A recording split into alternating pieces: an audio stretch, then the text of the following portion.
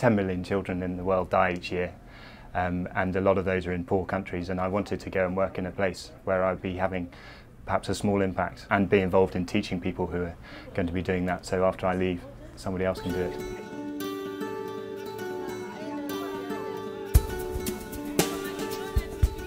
You certainly have to be adaptable to work in Malawi. You, you have to adapt your skills and it, and it, it can be done.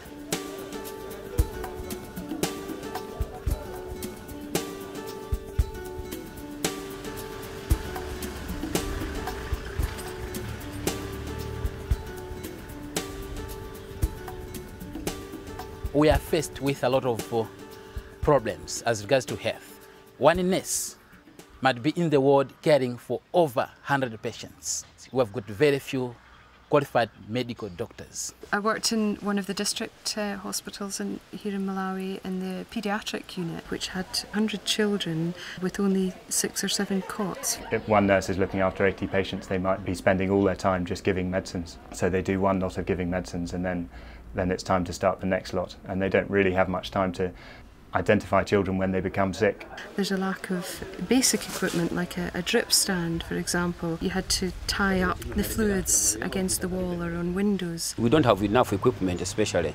We just uh, maybe use very, very old, outdated equipment. Let's say when it comes to operations, there are very old, maybe instruments we were using there. The VSO lecturers who are coming from different countries, especially in the UK, they're actually helping to relieve our situation in Malawi.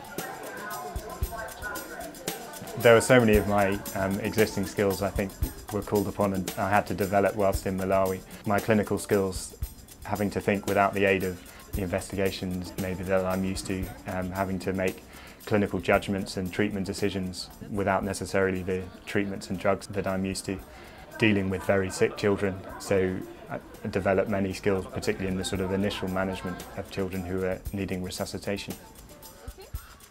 When I'm clinical instructor, I'm following the students out into the clinical placement area and teaching in the wards. Of course, PAM has helped us a lot. We do make mistakes sometimes, but she waits for you, she calls you aside. With mom, it has been a very good experience. And what are you looking for here? A lot of improvement has taken place. Like when they came, we were having clinical meetings, but not uh, at a regular basis. Now we have clinical meetings every month end together, and that improves our working relationship and improve our skills. I've learned to prepare lectures. I was involved in actually organising and running the fifth year uh, medical students teaching. Here I'm teaching in a classroom uh, up to 72 students at a time. And their teaching uh, involved tutorials, um, bedside teaching, ward rounds, going to clinics. I've had a huge amount of clinical exposure which someone who just stayed in this country would never hope to achieve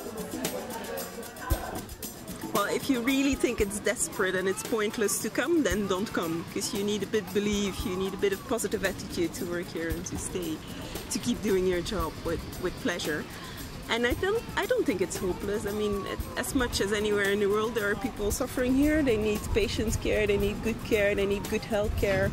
And if you can help one patient a day or you can pass one little thing on to a clinician or to a nurse, then you're making a difference. I feel that VSO health professionals they should come to Malawi and assist us because we don't have enough support. I think if you're involved in teaching uh, people who, to become doctors, then there's no uh, question that it's going to be sustainable. We are making a, a, lasting impact because the students I'm training now are going to be trained uh, as hopefully I was trained. I was in Malawi for just over a year and there are already people that I'm teaching who are working as doctors.